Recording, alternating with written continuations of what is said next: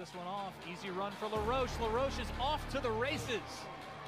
Touchdown, Jacksonville State. 45 yards to the house.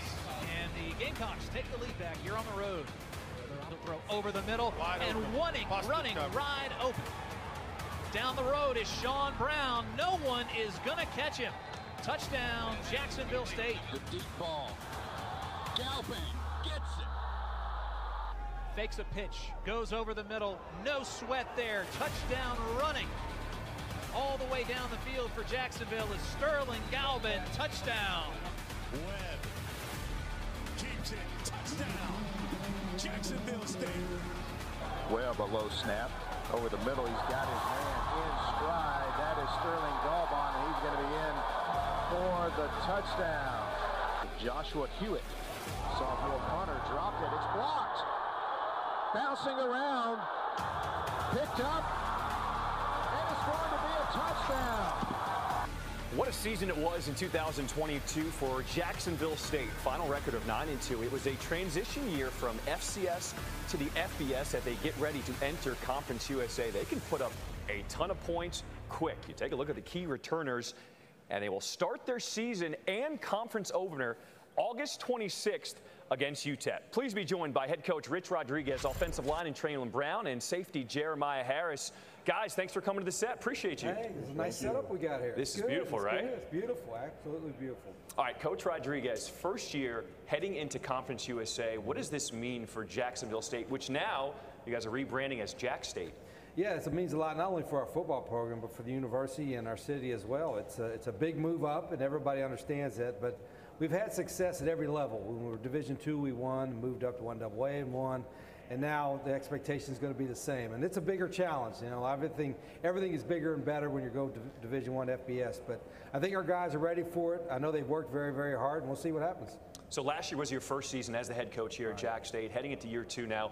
What did you do to prepare to enter into Conference USA and the FBS? Well, the biggest thing was was irregardless of what our move was going to be, we thought as a staff we had to establish the right environment, the right culture, put our systems in, obviously recruit, and then get our players to know the expectations, the way we're going to have, no matter what league we're going to be in. Now, having the invite for Conference USA, which we're very grateful for, now we know where we're going to be at, where our home is, what our competition is going to be, and our goal every year, every year, our first year uh, our goal is going to be to, to win the conference. That's a huge challenge. You know, obviously we were picked seventh for a reason, but at the same time, our guys have high expectations. They know the way we want to work, and we'll see what happens. All right, we take a look at some of the highlights from your offense. It's a very unique offense you run at Jack mm-hmm. State.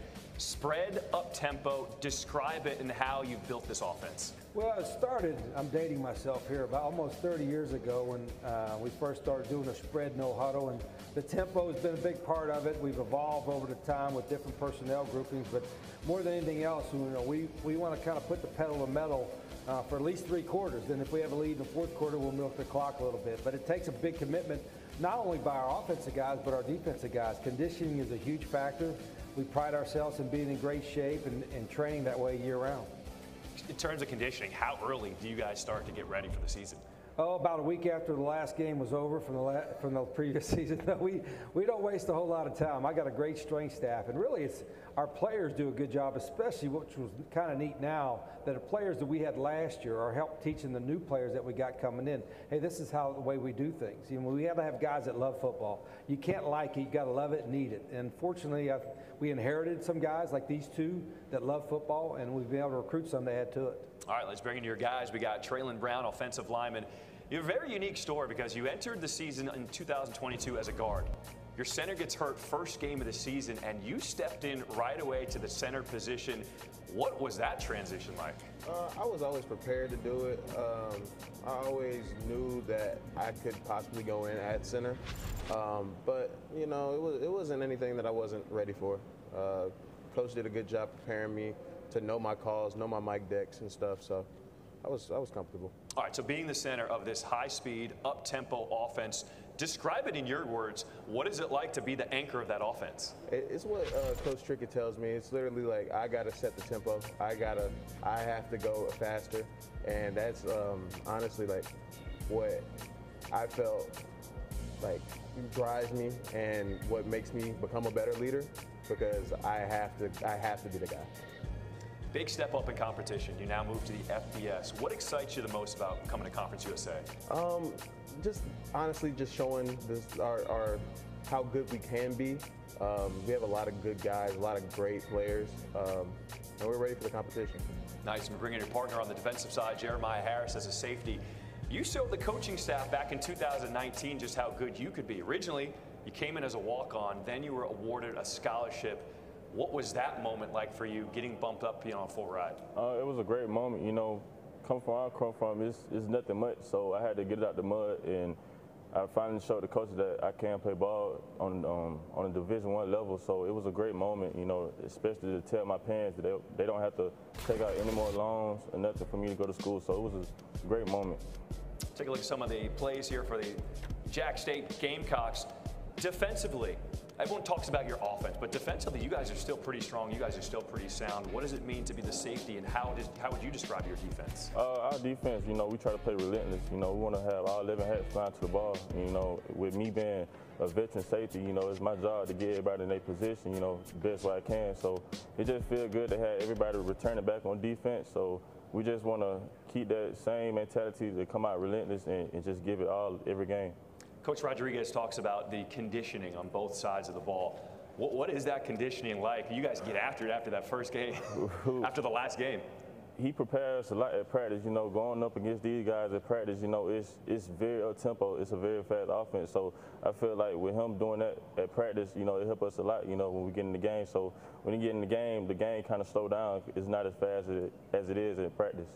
Tell me what it's like being a student at Jack State. If people don't know much about the university, you're located between basically Birmingham, Alabama, and Atlanta, Georgia. What is it like being a student? Uh, being a student at Jack State is is lovely. You know, everybody. It's a small, friendly campus. You know, everybody know each other. You know, it's, like you said, it's between Birmingham and Atlanta. So if you want to go to Birmingham, it's nothing but an hour down the road. Atlanta, nothing but an hour and some change down the road. So it's it's a it's a great place to be and great place to attend as a student. They know because they've got 12 years of experience. we got some true veterans right here with, with J. Rowe and Trey, and uh, really proud of, of what they've done. And as J. Rowe said, I know I'm interjecting here, but you know nowadays you talk about guys jumping here, here, and there, and I understand reasons why. But here's a guy that's they both got their degrees, working on master's degrees. J. Rowe might be working on his doctorate. I don't know. He's been around long enough, so it, it's great stories for college football. Trey, you guys get an opportunity to play on national TV come October. You'll be the only game in town in the middle of the week for the entire month. What does that mean to you? That's really it's really cool. Really good. Like honestly, I didn't expect to expect to like be here. You know what I'm saying? Like none of us really expected to like like be on national television. Like everybody can come watch, and it's really dope. It's really cool. For people who may see you guys play for the first time, what do you want them to take away watching you play on national TV? That we we play with a hard edge. We play up tempo, and there's not really anything like Jack State football. Nice. Okay. Coach Rodriguez, take me through your offense, some of your key returners, and, and quarterback. Who do you think you're leading towards at this point? Yeah, we have four four guys that start a lot on the O line. You know, Trey uh, leading the part at, at center. Uh, we have some experience at wideout. Uh, quarterback Zion Webb is back for his sixth or seventh year, like like J. Rowe. I think here. it's actually seven now. Yeah, he's got seven years in, so he's got a little bit of experience. He's he's older than half my staff, I think. but uh, they, you know, the first year putting in systems is always the most difficult because the terminology, the way you do things, and and last year the guys did a great job of learning, and we think we can take a next step as far as teaching them. We're going to have new guys as well. The biggest thing we tried to establish since the last year was over is one to bring some competition in for all of our guys because we like to play a lot of players. Mean, one of my goals is to play more players than anybody in the country. Uh, everybody that travels, we want to actually play in the games, and because we do go up tempo and and take the next step as far as learning not just what we do, but what they do uh, from a scheme, schematic standpoint. So our guys love football. That's one thing we take a lot of pride in having guys that love football, and we know the competition is going to be higher than it's ever been, and that's going to be a challenge. But our guys are excited to do it. You know, we're we're going to give our best, and and uh, we may surprise a few folks this year. When you get ready for those midweek games in October, how do you adjust practice and just kind of your overall schedule to be ready to play instead of on the weekend, middle of the week? Yeah, that's a good question. You know, I've done it before in other stops in my career, played some midweek national TV games, and you just kind of adjust, you know. And I always tell uh, my staff, it's not so big like Wednesday is now your Saturday. It's more that your Saturday's now your Tuesday, you know, so you can't treat Saturday like, okay, I'm going to go out and have a good time. It's a Tuesday night or Wednesday night for you. So your players have to adjust their schedule.